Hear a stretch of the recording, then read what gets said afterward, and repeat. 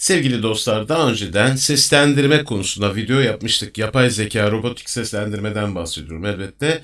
Bir örnek göstereyim size şu örneğin. Şöyle bir seslendirme.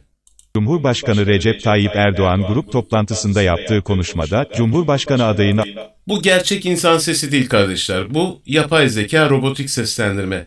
Bu yöntemle insanlar haber kanalları yapıyorlar veya başka içeriklerini de seslendirebiliyorlar. Elbette bu tip seslendirme kullanmak için bir ücret ödemek zorunda kaldığınız siteler oluyordu. Onu da göstermiştim size şu Voicer denilen bir site ve bunun muadili ücret ödemeden de online bir şekilde imkanlar sağlayan siteler de var. Ancak Voicer bunların içerisinde elbette en profesyonel seslendirme yapan site. Ancak ta ki bugüne kadar CapCut programının Windows masaüstü sürümü çıkana kadar kardeşler bugün size CapCut'ın bu muhteşem özelliğini göstereceğim. Çok hoşunuza gidecek. Gerçekten çok hoşunuza gidecek. Temel YouTube eğitimleri ve karma eğitim kanalımız YouTube Sanat Eğitim kanalına hoş geldiniz. Sizlere kalıcı ve daha iyi videolu eğitimler sunmak adına beni desteklemek için videolarımı beğenerek kanalıma abone olmayı lütfen unutmayın. Masaüstü kısa yolundan CapCut'ı açıyorum. Start Creating diyorum. Değerli kardeşler gördüğünüz üzere bu bir video düzenleme programı aslında. Ama bu video düzenleme programının içerisinde diğer video düzenleme programlarında görmediğimiz belki de pek çok mükemmel özellikler var. Bu mükemmel özelliklerden bir tanesi de metinleri sese çevirme özelliği. İşte şimdi burada onu yapacağız. Bakın buraya herhangi bir video import etmek zorunda değilsiniz. Sadece yapacağınız şey şuraya text denilen kısma geliyorsunuz ve buradan artı simgesine basarak buraya bir text açıyorsunuz. Şimdi kardeşler buraya şurada text ile ilgili bir bölümümüz var. Burada bakın default text yazıyor. Metnimizi buraya default text yazan yere gireceğiz. Girelim o zaman. Nasıl bir metin girelim? Hemen az önce okuduğumuz haberle ilgili metni girelim. Bu haberle ilgili metni girelim ki birebir karşılaştırma yapacağız sizlerle. Şöyle yapalım. Önce bir kopyalayayım şunu.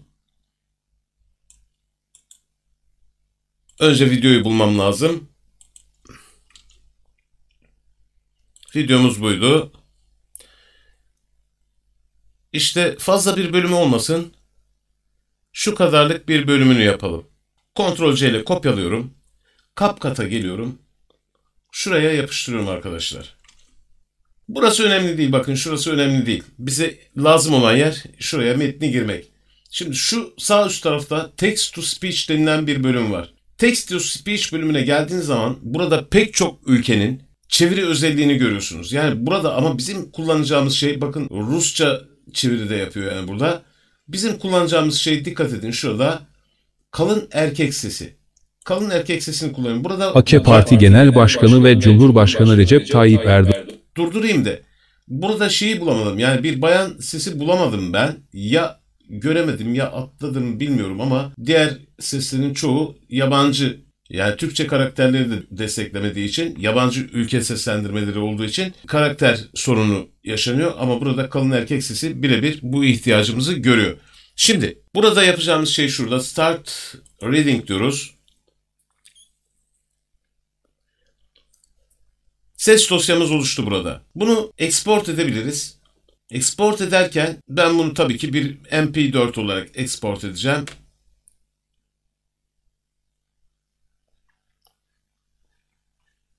Kapatabilirim bununla işim yok. Bir video yaptığımızı varsayıyorum ben. Oraya görseller mörseller yaparsınız tabii ki böyle bir seslendirmeyi tamamladıktan sonra. Şimdi bir karşılaştırma yapalım arkadaşlar. Önce şöyle geri alalım. AK Parti Genel Başkanı ve Cumhurbaşkanı Recep Tayyip Erdoğan grup toplantısında yaptığı konuşmada, Cumhurbaşkanı adayını açıklamayan altılı masaya yüklendi. Tamam. Şimdi öbürüne geçiyoruz. AK Parti Genel Başkanı ve Cumhurbaşkanı Recep Tayyip Erdoğan grup toplantısında yaptığı konuşmada, Cumhurbaşkanı adayını açıklamayan altılı yüklendi. Recep Tayyip Erdoğan altılı masa için şunları söyledi. İşte bu kadar basit arkadaşlar. Gördüğünüz gibi yani burada CapCut'ın bu özelliğiyle metinlerinizi seslendirebilirsiniz. Ama yine metinleri sese çevirme özelliğini Voicer kadar profesyonel olarak görmüyorsanız elbette Voicer'ın ücretli seçeneğini kullanmaya devam edebilirsiniz. Bir başka videoda görüşene kadar esen kalın diyorum.